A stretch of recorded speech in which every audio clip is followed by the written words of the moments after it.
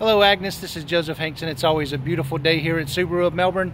Today I'm here to show you the 2020 Subaru Forester. Just going to give you a quick walk around the vehicle so you get a nice visual of it. It's got the EyeSight driver assist technology. That's like having an extra set of eyes while you drive.